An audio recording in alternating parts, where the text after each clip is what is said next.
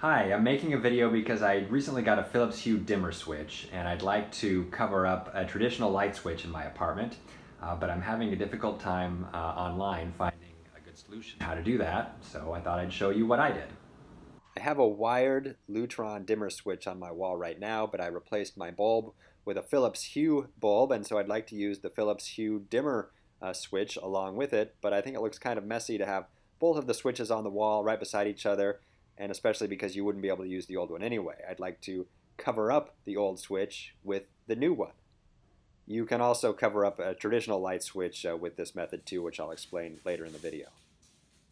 I bought this Wiremold NMW2D Raceway outlet box on Amazon. And it actually comes with an outlet and a cover plate, but I don't need either one of those things. I just need the uh, outlet box, and depending on what you want to cover up, you may or may not need the back part of the box, but it's a nice sturdy plastic box that will cover up the uh, light switch nicely and allow you to stick the Hue uh, dimmer switch on top of it. I'll begin by taking off the plate uh, that covers the Lutron switch that is currently on my wall. I'll take that off and set that aside. And now I will put the new Wiremold outlet box on top of the Lutron switch that I have and there's a hole in it and I had to get a little bit of a longer screw so it would uh, uh, have enough distance to get to the hole where the uh,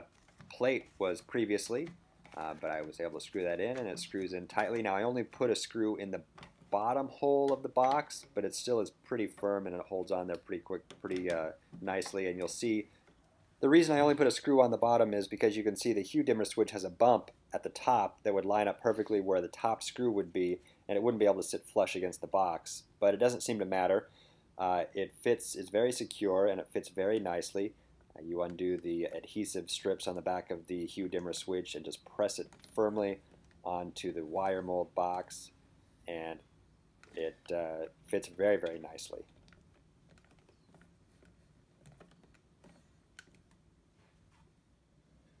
If you wanted to use the outlet box to cover up a traditional light switch, I would use the screws that hold the light switch into the wall because they match up perfectly with the holes that are on the back of the outlet box, which I didn't use on my Lutron switch, but they would match up perfectly there, and then you just simply slide the top of the box on top of the backing and it sits flush against the wall.